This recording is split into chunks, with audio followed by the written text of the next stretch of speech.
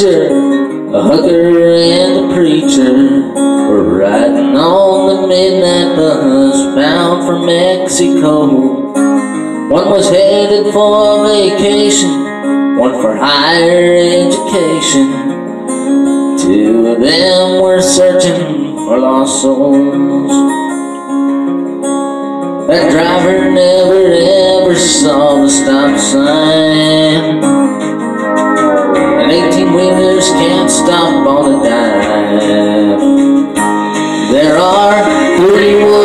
Crosses on the right side of the highway. Why there's not four of them, heaven only knows. I guess it's not what you take when you leave this world behind you. It's what you leave behind you when you go. That farmer left the harvest a home in 80 acres. The faith in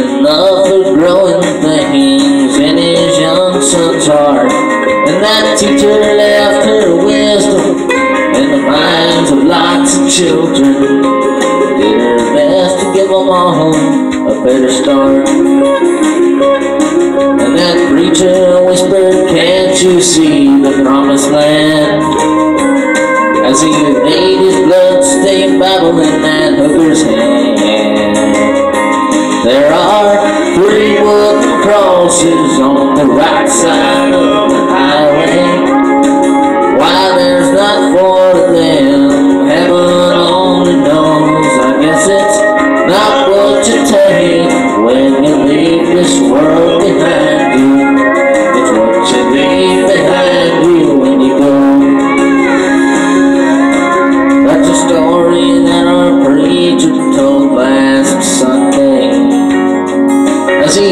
That bloodstained Bible up for all of us to see. He said, bless the farmer and the teacher and that preacher.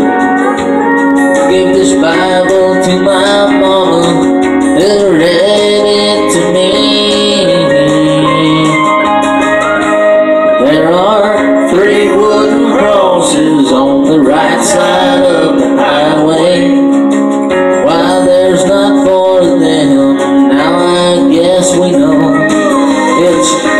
what you take when you leave this world behind you. It's what you leave behind you when you go.